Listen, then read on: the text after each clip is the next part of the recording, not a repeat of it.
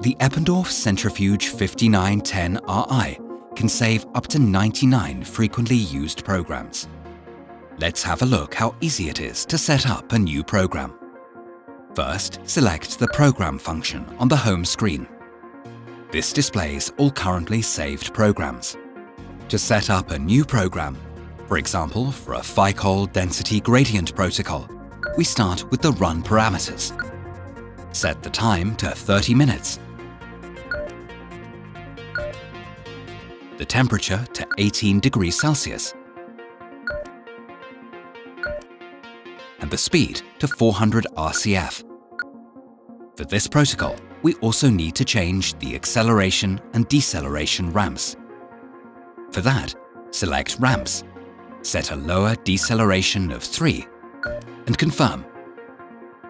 Now we can choose an empty program slot.